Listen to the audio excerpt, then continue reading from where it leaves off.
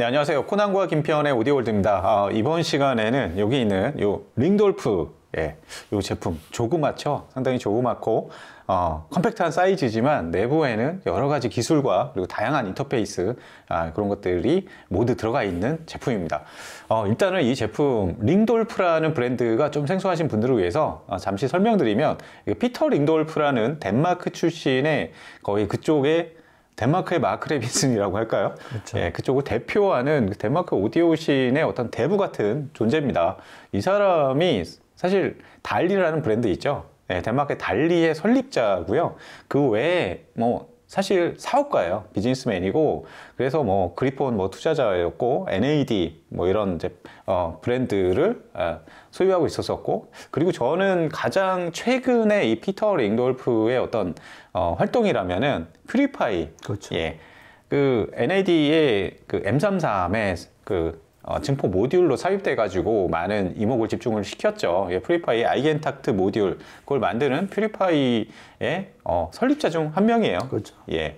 그러니까 거기 이제 메인 그 엔지니어는 물론 이제 브루노 푸제이고요. 그렇죠. 근데 거기서 이제 큰손 네. 투자자 메인 투자자는 이제 피터 링돌프 씨라고 할 수가 있죠. 그리고 저는 개인적으로 2016년인가 17년에 이 사람이 내한을 했을 때한 네. 30년 만에 내한을 했었다고 본인은 그러더라고요. 네.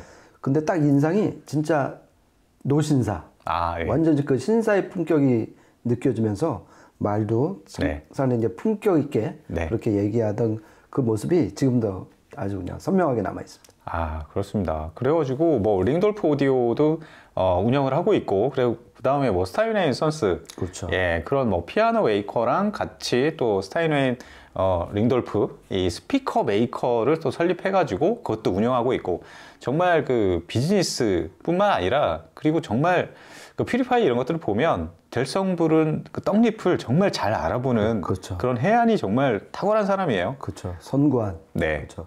야구를 하셨어도 더 네. 좋았을 것 같아요. 선구안이 좋아갖고. 아, 네. 변화구, 커터. 그렇죠. 그리고 이제 또 링돌프 하면 빼놓을 수 없는 게 이제 그 룸 퍼펙트. 예. 그거는 진짜 그 높게 네. 평가할 만한 기술인 것 같아요. 네. 아, 그래서 피터 링돌프가 설립한 링돌프 오디오의 어, 제품들 기존에 저희가 리뷰를 한번 어, 여러 번에 걸쳐서 좀 했었습니다. TD-AI 3400 스트리밍 앰프, 그 다음에 2400 파워 앰프도 리뷰를 했었고요. 어, 이번 시간에는 어, 좀더 작은 밑에 모델인데 아주 실속 있는 예, 합리적인 가격대에 그리고 기능이나 성능은 어, 그 뒤지지 않는 예, 그런 제품입니다. TDAI 1120에 대해서 리뷰해보는 시간을 갖도록 하겠습니다. 네, TDAI 1120 이 모델은 일반적으로 full size보다는 조금 작은 예, 그런 사이즈예요. 왼쪽 편에 보면은 디스플레이 창 크게 마련되어 있고 오른쪽에 이제 볼륨이나 뭐 이런 것들 아주 간략한 심플한 그런 디자인을 보이고 있습니다. 어, 후면으로 가면은 뭐 여러 가지 입출력 단자들이 있는데요. 일단 어, 이, 이 제품은 일단은 네트워크 앰프예요. 그렇죠. 네, 네트워크 앰프. 그래서 네트워크 플레이어와 앰프가 한 몸체에 모두 들어가 있는 예, 그런 컨셉의 제품입니다.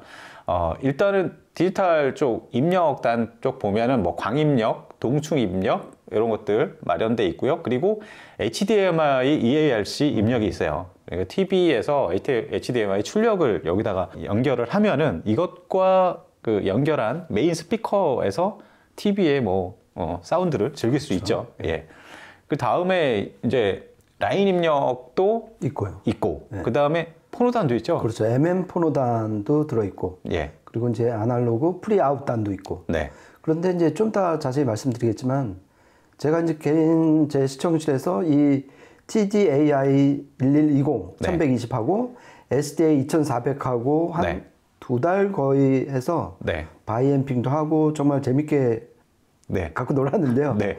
pre-out단이 정말 이 신의 한 수인 것 같아요. 아, 네. 그게 왜 어, 신의 한 수인지는 좀더 bi-amping 말씀드릴 아. 때 그때 제가 말씀드리겠습니다. 네, 기대하고 있겠습니다. 예, 그리고 이제 네트워크 플레이어니까 네트워크 프로토콜 어떤 거 지원할지 궁금하실 텐데 일단은 뭐 DLNA UPnP 지원을 하고요. Roon Ready 제품입니다. Roon 사용하시는 분들은 아주 간편하게 사용을 하실 수 있고 그 다음에 Google Chromecast도 지원을 해요. 그렇죠. 예. 그 그러니까 기존의 그러니까 3400보다 훨씬 나중에 나온 모델이기 때문에 이게 나온 지 뭐 그렇게 오래된 제품이 아닙니다. 예. 예. 그래서 Google Chromecast 이런 것도 지원을 하고 그다음에 AirPlay 2 그다음에 어, 블루투스도 그렇죠. 지원을 다 합니다. 네. 예. 저는 개인적으로 이제 기본은 이제 UPnP에다가 audiophile들이 좋아하는 Roon을 지원을 하는 게 이제 핵심인데 개인적으로는 뭐 AirPlay나 UPnP보다 좀 더 음질이 청감상 음질이 좋은 예. Google Chromecast를 지원을 한다는 게 아, 저는 네. 되게 높게 평가를 좀 하고 싶어요. 네, 그렇습니다. 그리고 뭐, 어, 이더넷 입력도 모두 당연히 지원을 하고요. 그 다음에 이제 하드웨어 쪽으로 좀 더 넘어가서, 예, 한 발짝 더 들어가서, 일단은 앰프 쪽이 어떻게 설계되어 있냐. 이게 네트워크 앰프들 보면은, 어, 제조사에서 이제 설명하는 것들은 이게 홍보용으로 이렇게, 어, 많이 설명을 하기 때문에 이제 기능적인 부분들 위주로 막 설계, 그, 그 표현을 어필을 많이 하잖아요. 근데 아무래도 네트워크 뭐 스트리밍 기능도 중요를 하지만 이 퍼포먼스에 어, 많은 지분을 차지하는 거는 이게 앰프 쪽이거든요. 그렇죠. 이 앰프 쪽 설계가 어떻게 돼 있을까요? 그 그때 TDAI 3400 할 때 이제 말씀드렸는데 네. Equibit이라는 full digital 그 앰프 네. 모듈을 이 안에 이제 집어넣은 거죠. 그래서 네. 사실 이 모델명에 들어간 거에 이제 다 키가 다 들어있는데 TDAI잖아요. 네. True Digital Amplifier Integrated. 아, 예. 그러니까, 그러니까 인티앰프라는 얘기죠. True. 네. True. 그러니까 진짜 네. 디지털 네. 인티앰프다. 이렇게 그리고 1120은 얘네가 참 재밌게 잘 짓는 것 같아요. 그러니까 네. 맨 앞에 이런 좀 등급을 나타내고요. 아, 예. 그다음에 120이잖아요. 이거는 4옴 사옴 출력이 출력. 얼마인가. 예. 그래서 얘는 4옴 출력이 120와트고 예. 8옴 출력은 60와트예요. 그러니까 반대로 생각을 하면은 안에 전원부 설계가 잘 돼 있어갖고 4옴 출력이 선형적으로 그렇죠. 두 배로 딱 늘어나는 일단 기본 댐댐이가 된 앰프다 이렇게 보실 수가 있는 거고요. 그리고 디지털 앰프하고 클래스 D 앰프하고 헷갈리실 텐데 전에 리뷰할 때 이제 말씀드렸던 SDA 2400은 클래스 D 앰프예요. 그러니까 예. 말 그대로 아날로그 신호를 기반으로 해서 얘를 그 안에 이제 그 삼각파를 발생을 시켜갖고 네. 그 아날로그 신호하고 삼각파를 합치면은 PWM 신호가 돼서 그거를 스위칭 증폭을 하는 게 예. 전, 전통적인 클래스 D 앰프인데 그렇죠. 얘는 그 뒤에 저기 아날로그가 들어가는 구간이 없어요. 예. 그러니까 안에 DC 파트가 없는 거죠. 무조건 digital to digital로 증폭을 한다. PCM이 들어오면 곧바로 PWM 신호로 바꾼다고 그래서 네. true digital 앰프라고 그러는 거죠. 그러니까 예를 들어서 이제 Class D 앰프는 디지털 입력 신호가 들어오면은 이거를 네. ADC 칩을 통해서 아- 일단 아날로그 신호로 바꾼 다음에 다시 증폭 과정을 거치는 그 two step을 밟는데 예. 얘는 그냥 디지털 입력 신호가 들어오면 곧바로 증폭을 하기 때문에 음에 손실이 없다. 네. 이게 이제 그 디지털 앰프의 장점 중 하나고요. 그래서 Class D 앰프는 어딘가에 DAC가 들어가 있어요. 예. 디지털 입력 신호가 들어오면은. 그렇죠. 근데 디지털 앰프는 DAC 칩이 스펙에 나와 있지 않는 이유가 네. 왜냐면 디지털 입력 신호가 들어오면 곧바로 PWM으로 증폭을 해버리기 때문에 네. 디지털과 그 Class D 앰프를 구분하는 것은 DAC 유무다 이렇게 네. 보셔도 될 것 같아요. 네. 그렇습니다. 그리고 이번에 보면은, 아, 김 편님이 직접 집에서 사용을 해보시면서 여러 가지 또 그 시도를 해보셨잖아요. 그, 그 중에 이제 bi-amping. 예, 그렇죠. 저희가 사실 bi-amping을 지난번에 한번 좀 테스트를 해봤습니다. 그 TDAI 3400과 2400을 엮어가지고, 예, bi-amping 시스템을 만든 다음에 그 스피커는 그때 이제 Dali Epicon 2를 그렇죠. 사용을 해서 예, 스피커 두 조 연결해가지고 테스트를 해본, 해본 적이 있는데 이거는 어떻게 연결하는지를 처음에는 좀 잘 몰랐었어요. 그렇죠. 김 편님이 성공하셨다고. 저도 이제 네. 헷갈렸는데 그때 3,400은 디지털 동축으로 이제 그렇죠. pre-out을 시킨 거잖아요. 네. digital out을 시켰는데 얘는 digital out 단자가 없어요. 예. 그러니까 아까 말씀드린 RCA 아날로그 pre-out 단자를 이용을 하는 건데 네.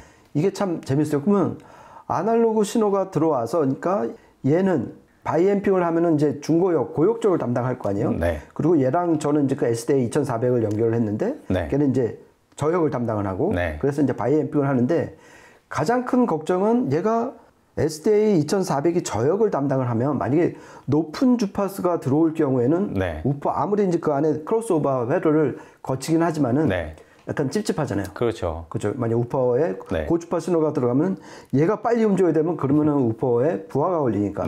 네. 그래서 이제 근데 어떻게 컨트롤을 해야 되는지. 네. 그러니까 최소한 주파수를 그 크로스오버를 그러니까 그 매뉴얼에는 되게 500Hz 이상 신호는 못 나가게끔 네. 저역 우포로 못 들어가게끔 네. 그렇게 돼 있는데 실질적으로 해보니까 그거를 찾을 수 있는 창구를 못 찾았어요 처음에는 네. 그러다가 이제 그 매뉴얼을 한번 진짜 이잡듯이 한번 찾아보니까 네.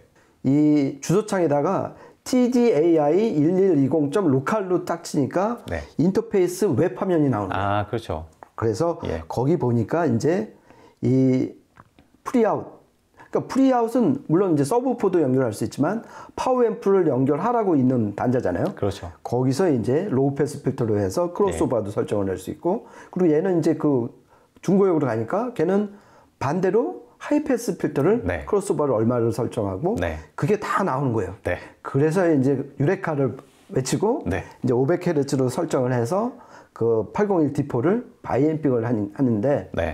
그 두 대의 Lyngdorf 앰프가 네. 진짜 이 801 D4를 딱 움직이는 거는 네. 그때 진짜 재밌었어요. 아, 그리고 bi-amping의 그 맛 있잖아요. 네. 그러니까 좀 더 음이 그렇죠. 정확하게 나오는 그렇죠. 거기서 어떤 오디오가 상당히 네. 재미난 제품이다. 이걸 한번 느꼈습니다. 네, 그렇습니다. 이게 bi-amping은 사실 이게 저는 이게 mono bridge나 이런 것보다 bi-amping이 훨씬 더 유리한 측면이 많다고 생각하거든요. 음, 음의 어떤 질적인 측면에서. 네. 그렇죠. 예, 그런 면에서 아, 상당히 뭐 갖고 놀 부분들이 상당히 많은 이런 네. 앰프라고 생각이 되고, 그러니까 또 하나는 이제 또 RoomPerfect라는 기능이 있죠. 아, 그렇죠. 이거는 어쿠스틱 룸, 어, 룸 특성을 이렇게 보정해주는 예, 그런 그 기능입니다. 이게 그 간단히 얘기하면 요즘에 뭐, 뭐 LED M33이나 이런 거 많이 써보셨으니까 예, 그런 거 써보신 분들은 디락 라이브를 사용해 보면서 되게 재밌게 갖고 놀았, 어, 놀수 있다는 걸 아실 텐데 그러니까 우리가 일반적으로 무슨 어, 무향실에서 음악을 듣는 건 아니잖아요. 그렇죠. 예, 일반적인 환경에서는 여러 가지 뭐 사물들 이런 것들도 있고 다양 그런 것들이 다 어, 우리 청감상 우리가 느끼는데 그러니까 소리 소리에 어- 여러 가지 좀 왜곡을 많이 주잖아요. 주파수 특성이라든가 뭐 time domain domain에서 뭐 delay라든가 그런 것들 때문에 뭐 여러 가지 좀 어, 음질적인 왜곡을 겪는데 그런 것들을 이제 보정해 주는 거죠. 소프트웨어 통해서. 근데 그런 그 소프트웨어를 개발한 어, 회사들이 몇몇 꽤 있는데 이 RoomPerfect는 어, Dirac이나 이런 데보다 더 오래됐을 거예요, 아마. 그렇죠. 예, 상당히 오랫동안 그 피터 링돌프가 그렇게 보면은 정말 선견지명이 탁월한 분입니다. 그렇죠. 예. 그러니까 아까 말씀드린 그 디지털 앰프 모듈 Equibit도 그렇고 룸 네. Perfect도 그렇고 링- 피터 링돌프 이분이 직접 개발한 건 아니에요. 그렇죠. 그렇죠. 그거를 라이센스로 이제 사서 예. 자기 회사로 아예 만들어 갖고 네. 이렇게 발전시킨 거 보면은 참 대단한 제작자인 거는 분명합니다. 네. 분명히 나중에는 이게 대세가 될 거야. 네. 뭐 이런 좀 자기 확신을 갖고 아, 투자를 하고 인수를 해서 그쪽 기술을 자기 브랜드에, 자기 그렇죠. 이름을 걸고 만든 브랜드에 투입하는 예, 되게 영민한 그렇죠. 예, 그런 모습을 보이고 있어요. 특히 룸 퍼펙트는 이 링돌프에서 정말 적극적으로 믿는다는 그 증거가 예. 얘를 사면 그게 기본으로 들어가 있어요. 측정 그렇죠. 마이크하고 네. 스탠드하고 네. 그거 보면서 아, 얘는 무조건 룸 퍼펙트를 측정을 하셔갖고 네. 자기 방, 자기 시청 환경에 최적화된 사운드를 꼭 즐기시길 바랍니다. 네. 그 저희가 나중에 기회가 되면은 어, 실제 측정하고 예, 그 실제 측정 수치가 어떻게 나오는지 그런 것까지 한번 보여주는 시간을 네. 가지면 좋을 것 같아요. 네. 전반적인 어, 설명은 이렇게 하면 될 것 같고, 아, 그, 이거 운영 방법은, 어, 김PD님 아까 말씀하셨듯이 웹, 웹 remote가 있습니다. 웹에서 띄워가지고 여러 가지 설정들이나 이런 거 디테일하게 다 건드릴 그렇죠. 수 있는 그 웹 remote가 있고, 그 다음에 앱을 다운 받아서 앱에서는 이제 단순한 뭐 스트리밍 그렇죠. 재생 기능 이런 것들을 조정을 할 수가 있고요. 그리고, 어, 이 리모컨도 존재를 합니다. 이것도 사용해서 예, 간단한 기능들 이렇게 조정을 할수 있는 아, 이런 어, 다양한 또 편의성도 제공을 하고 있습니다. 어, 전반적인 설명은 여기까지 하고 어, 실제 음질, 퍼포먼스 부분에서 어떤 사운드를 내줄지 한번 알아보도록 하죠. 어, 저희가 한 세 곡 정도 녹음을 했는데요. 이어서 들어보시면서 음질적인 부분들 판단을 해보시기 바랍니다.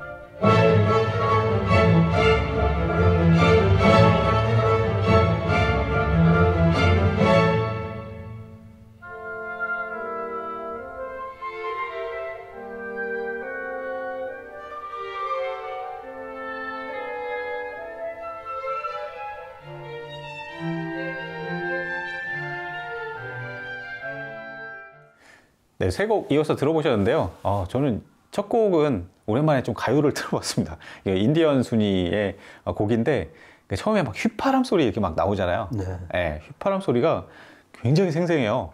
예.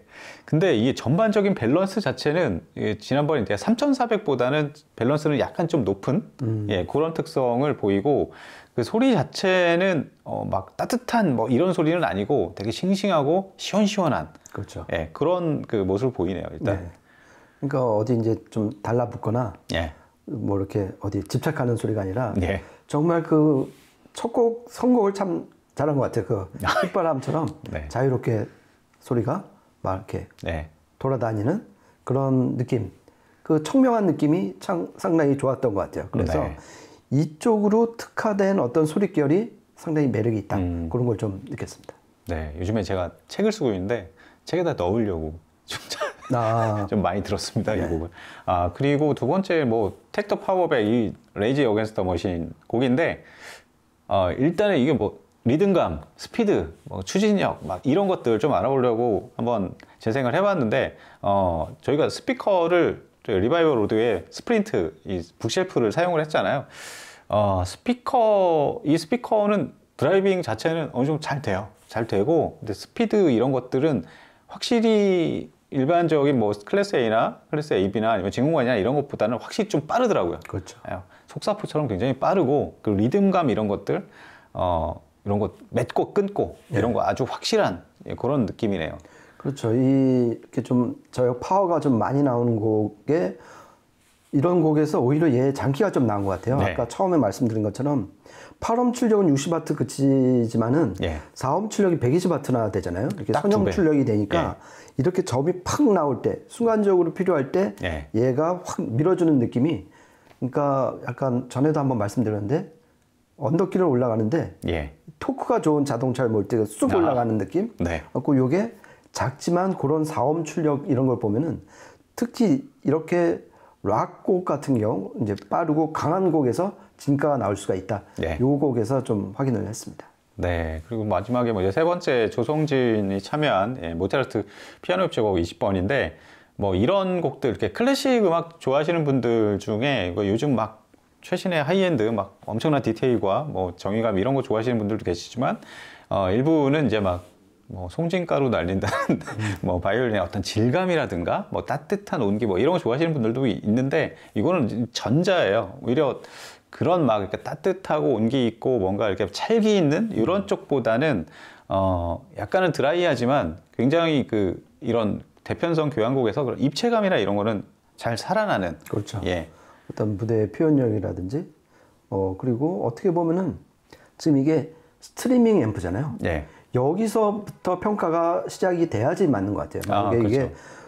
저희가 스트리밍 뭐 네트워크 플레이어나 DAC를 딴 데서 해서 얘를 받았으면은 네. 좀 다른 평가가 내려줄 수가 있는데 얘는 한 하나의 섀시 안에 네. 스트리밍 기능과 앰프 기능을 다 집어넣고서 이 정도로 대편성곡을 소화한다는 거에 네. 저는 좀 좋은 점수를 주고 싶습니다. 네.